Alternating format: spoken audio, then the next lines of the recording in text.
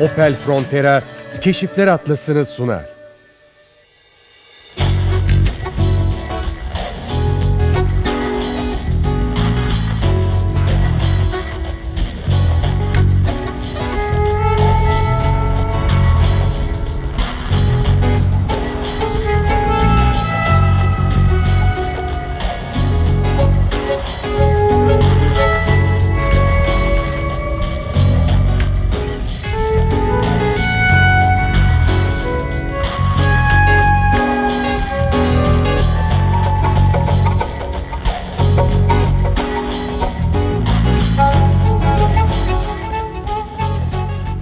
Merhaba sevgili izleyiciler. Keşifler Atlası belgeselinin birinci bölümünde Orta Fırat vardı. Yine Orta Fırat var. Çünkü sözümüz henüz bitmedi. Geçen haftaki bölümde değişen yaşamlardan öyküler ekrana getirdik. Bu bölümde ise biraz daha tarih anlatacağız. Zeugma'yı duymayanınız kalmamıştır. Zeugma'nın muhteşem mozaiklerini kurtarabilmek için bütün dünya hatta Türkiye seferber oldu.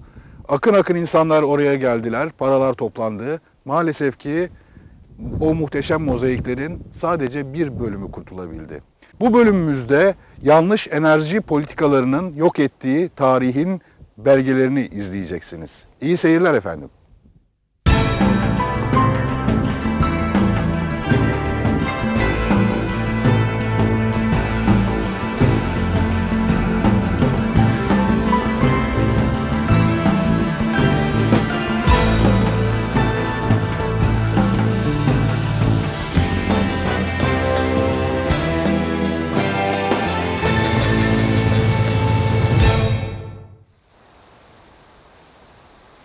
Şu dünyada yaşamak için bir ailen, bir evin, bir de Fırat olsa yeter. Kim demiş, ne zaman demiş belli değil ama bu sözün doğruluğu tartışılmaz. Fırat, Doğu Anadolu'dan Mezopotamya'ya akarken yoluna çıkan her toprağa hayat vermiş, çevresinde medeniyetler yaşarmış bir ırmak.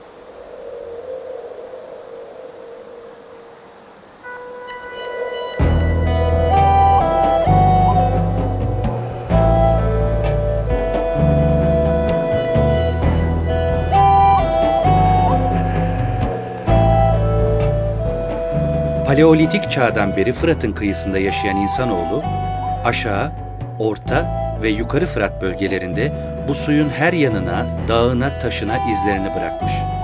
Şimdi suların altına gömülen izler.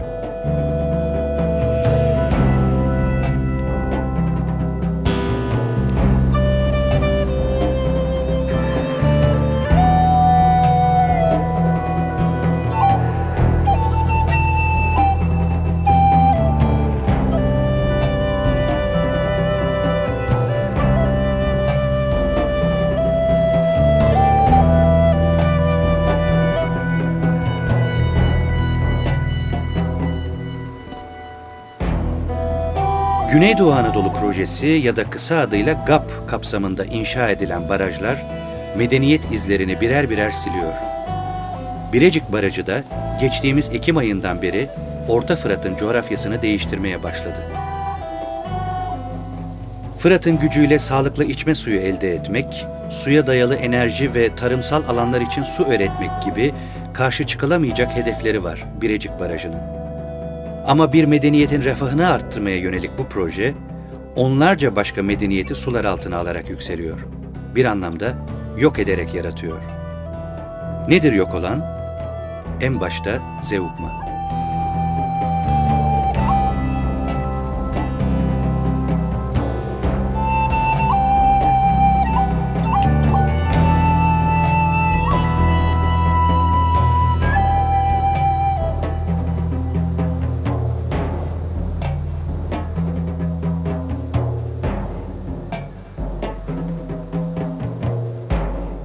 Zeugma, Gaziantep'in Nizip ilçesinin 10 kilometre doğusunda Fırat'ın hemen kıyısında yer alıyor. Belki de alıyordu demek daha doğru. Çünkü toplam sit alanı yaklaşık 20 bin dönüm olan Zeugma'nın büyük bölümü şu anda sular altına gömülmüş durumda. İki yıl önce konuk olduğumuz Belkıs köyü artık baraj gölünün altında.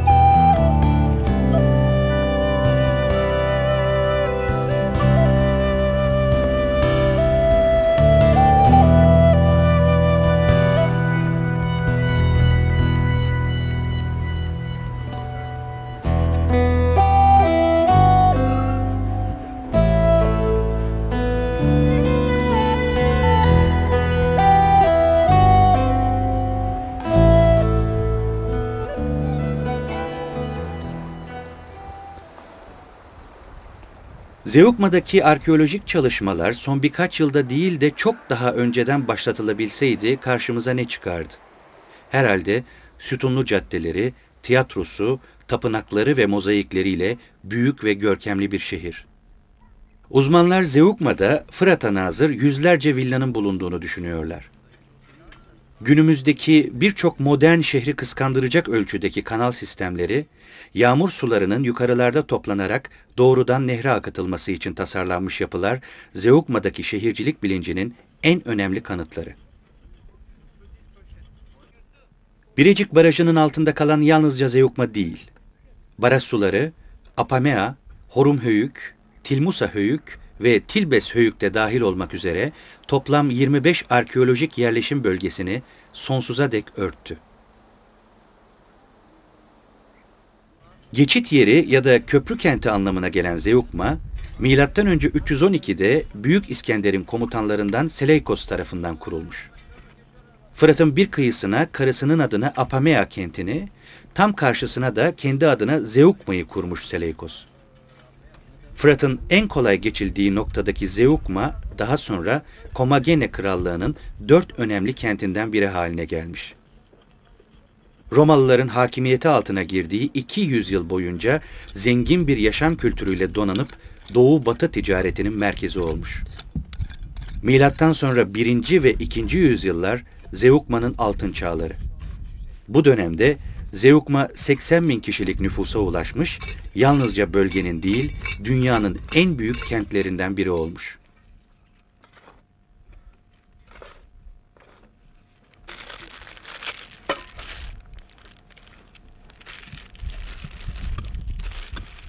Zeugma ya da Malazgirt Savaşı ile Anadolu'ya giren Türklerin verdiği adıyla Belkıs ismini kamuoyu ilk kez 1992'de Roma villasındaki taban mozaikleri ortaya çıkarıldığı zaman duydu. Ki o yıllarda Zeugma'daki kazılar sanki su hiç gelmeyecekmişçesine sakin ve telaşsız sürdürülüyordu.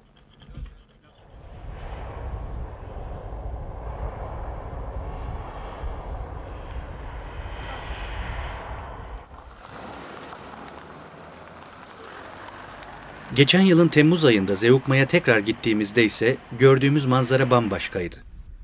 Türkiye'nin ve dünyanın her yerinden gelen arkeologlar zamana karşı yarışıyorlardı. Sular her geçen gün hızla yükseldi ve çabalar baraja yenildi. Bölgenin büyük bir bölümü sular altında kaldı, arkeolojik değeri tartışılamayacak birçok eser sonsuza dek yok oldu. Aslında Zeugma'daki çalışmaları başlatan birkaç yıl önce Birecik Barajı'nın hafriyatı sırasında ortaya çıkan mozaikler oldu. 1997'de tam baraj seddinin önünde Tunç çağına ait bir mezarlık bulundu. 312 mezar tespit edildi. Daha da önemlisi 100 bin adet kilden mühür koleksiyonu gün ışığına çıkarıldı. Bu sayı bugüne kadar bilimsel kazılarda ele geçmiş en büyük rakam. Zeugma'da bir kısım eser kurtarılabildi, bir kısmı ise çaresiz sulara emanet edildi. Açılıp belgelenen mozaik ve fresklerin üzeri suya dayanıklı kireç, tuğla, kiremit tozu ve kumdan oluşan harçla sıvandı. Bu harcın üzeri de toprak, kum ve çakıldan oluşan karışımla kaplandı. Koruma amacıyla yapılan tüm bu çalışmalara rağmen yine de birçok uzman höyüklerin hiç açılmadan suya gömülmelerinin aslında daha iyi olacağını söylüyor. İşte Zeugma mozaiklerine birkaç örnek. 1998 yılındaki kazılarda ortaya çıkarılan Akratos mozaiği. Mozaik şimdi Gaziantep Müzesi'nde.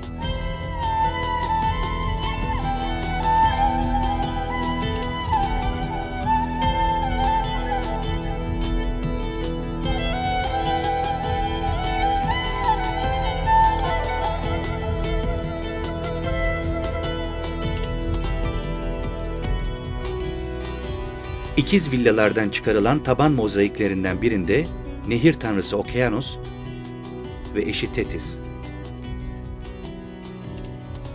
Girit boğası Minotor'a aşık olmuş kraliçe Pasifae, sevdiğinin gönlünü çelmek için tahtadan bir inek yaptırıyor.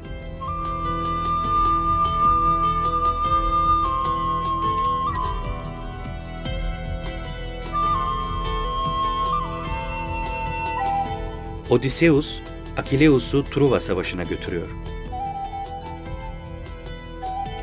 Ve 1998-99 yıllarında ortaya çıkarılan adı Zeugma ile bütünleşen Çingene Kızı.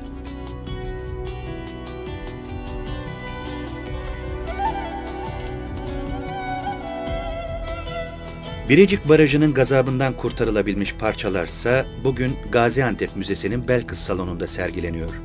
İşte yeni yerine alışmaya çalışanlardan birkaç örnek. Mezar odalarından çıkarılan heykeller,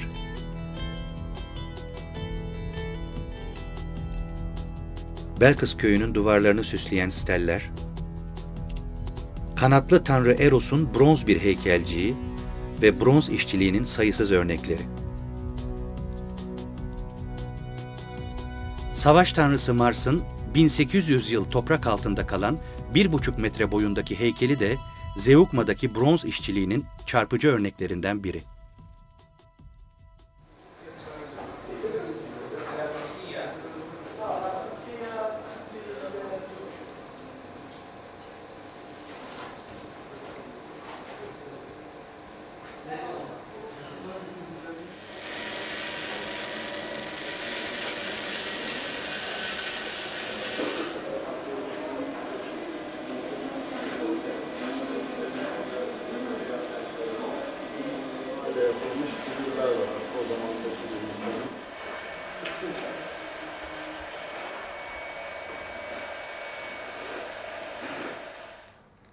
Mühürcülük sanatının en zengin koleksiyonu. Zeugma'daki bir arşiv odasında bulunan 100 bin bulla yani mühür. Posta belgelerini, resmi evrak torbalarını, para keselerini kapatmak için kullanılan bu mühürler, Zeugma'daki ticaret yoğunluğunun en önemli kanıtı. Bu nedenle de mühürlerin çoğunun üzerinde ticaretle ilgili tanrı ve tanrıçaların resimleri var.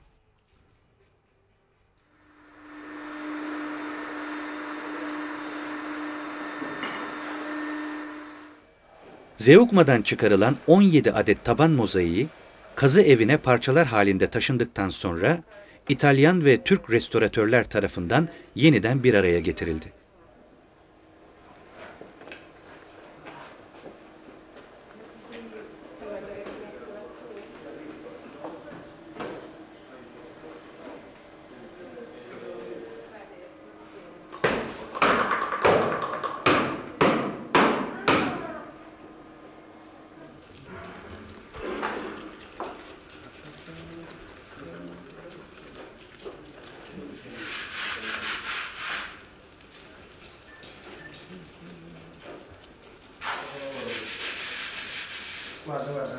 Testa.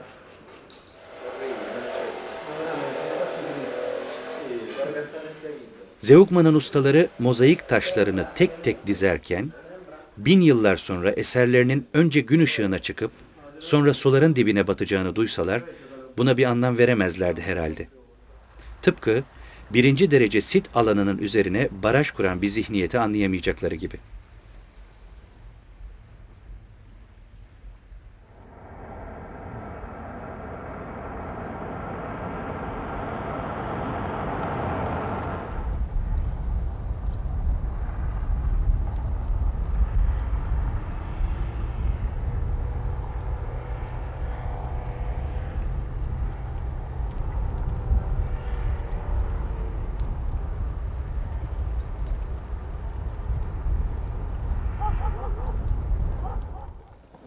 Fırat'tan kopup bir başka ırmağı Dicle'yi takip ediyoruz bu kez. Şimdiki durağımız Hasankeyf. Bir başka barajın, Ilısu Barajı'nın tehdidi altında yaşayan bir başka sit alanı.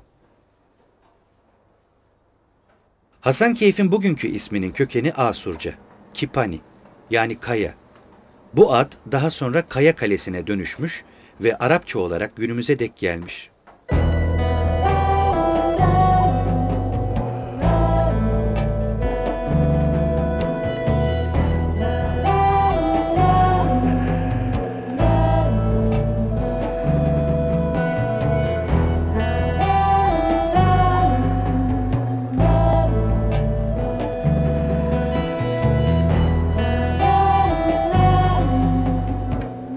Hasankeyf'in ne zaman ve kimler tarafından kurulduğu tam olarak bilinmiyor.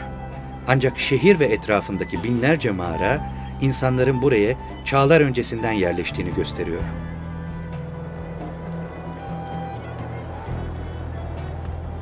Hasankeyf tek parça kayadan yapılmış kalesi, ünlü Roma köprüsü, sarayları, bahçeleri ve mağara evleriyle tipik bir ortaçağ kenti. Dicle kenarından başlayıp yedi kapıdan geçerek yükselen basamaklı yol, yukarıda kalede sona eriyor.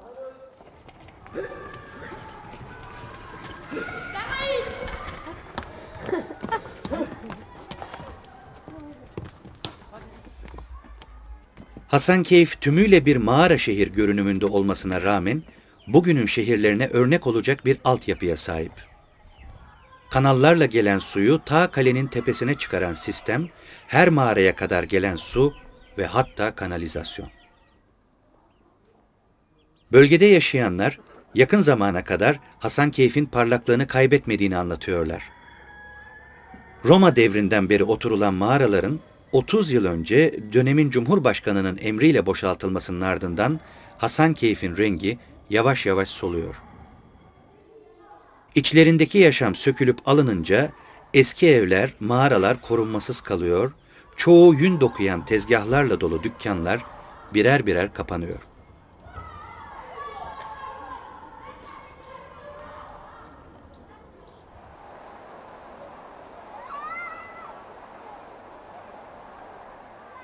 Bugünse Ilısu Barajı üzerinde prehistorik çağlardan yakın dönem mimarisine değin sayısız örnek barındıran Hasankeyf'i ve mağaralar terk edildikten sonra taşınılan yeni yerleşim bölgesini tehdit ediyor.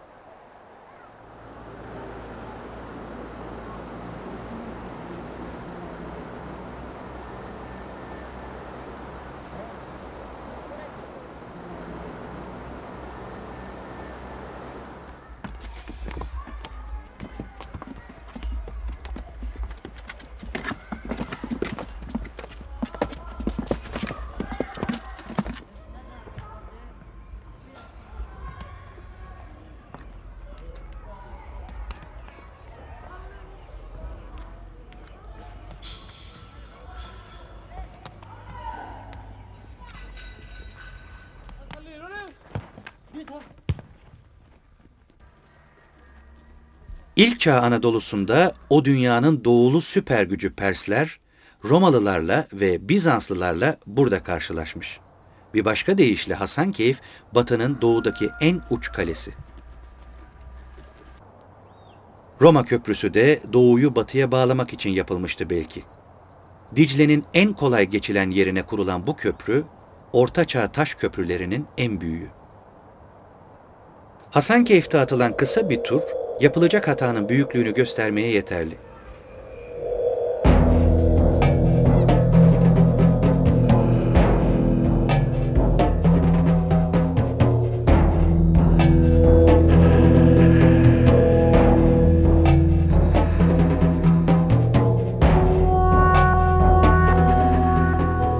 Kitabesinin altına Allah'ın 99 ismi yazılmış El Rızk Camii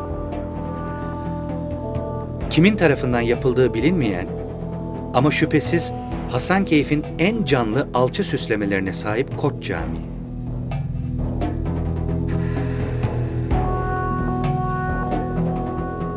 Eyyubiler tarafından 13. yüzyılda bir kilise kalıntısı üzerine tekrar inşa edilmiş Ulu Cami.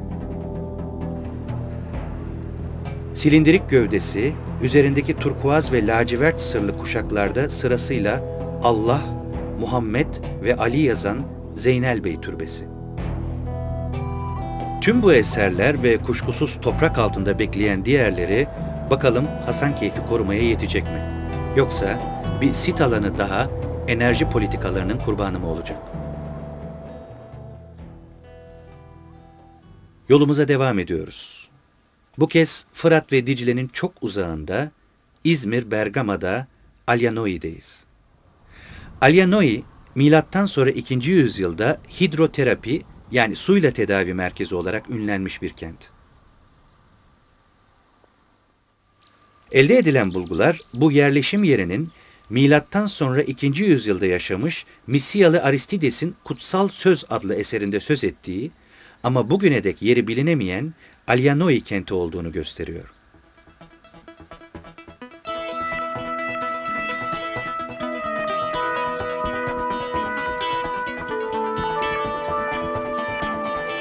Bergama İvrindi Karayolu'nun kuzeydoğusunda yer alan Alyanoi'deki kazılar yaklaşık iki yıl önce Bergama Müzesi tarafından başlatıldı.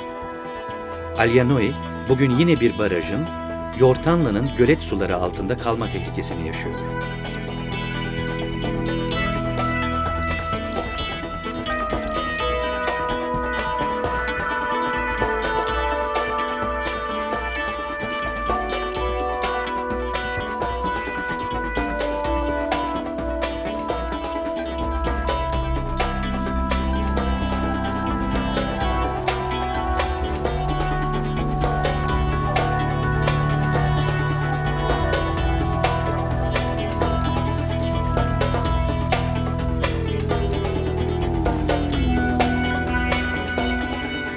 Alyanoi antik kenti sıcak su kaynaklarına yakın konumda Helenistik çağda kurulmuş. Milattan sonra 2. yüzyılda Roma İmparatoru Adrianus'la birlikte en parlak yıllarını yaşamış. Geç antik çağda ise yaşanan göçlerin etkisiyle zamanla ekonomik açıdan zayıflamış. Ama yine de Batı Anadolu'nun en önemli termal kaynaklarından biri olduğu için toprak altındaki sayısız eserle birlikte günümüze dek ulaşmayı başarmış Alyanoi.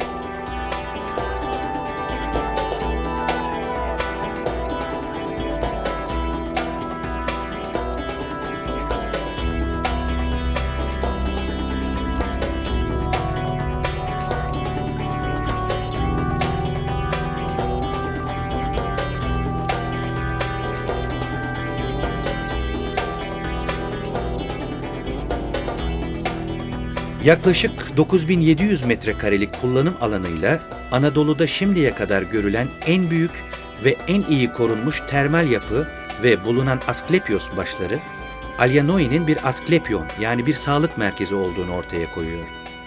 Yunanlılar herkese şifa dağıtan hekimlik ve tıp bilimi tanrısı Asklepios'un adını yaşatmak için içinde tapınaklar ve sunaklar bulunan sağlık merkezleri kurup bu merkezlere Asklepion adını vermişler.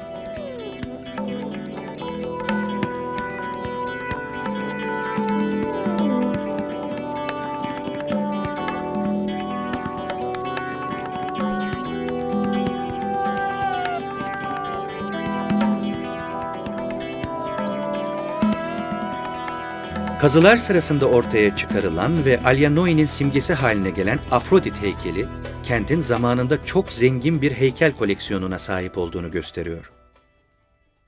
Tabi Alyanoi'de tek ortaya çıkarılan bu termal sistem ya da Afrodit heykeli değil. Doğu batı ve kuzey güney çizgisinde yerleştirilmiş caddeler, antik köprüler, konutlar, dükkanlar, mezarlar, çeşme, şarap imalathaneleri ve seramik fırınları.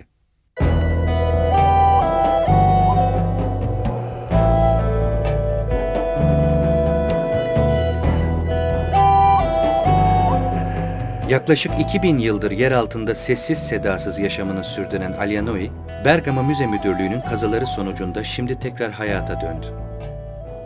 Umarız bin yıllar boyunca suyla şifa dağıtmış bu kentin sonu da suya gömülmek olmaz ya da başka bir deyişle umarız Zeugma sulara gömdüğümüz son tarih olur.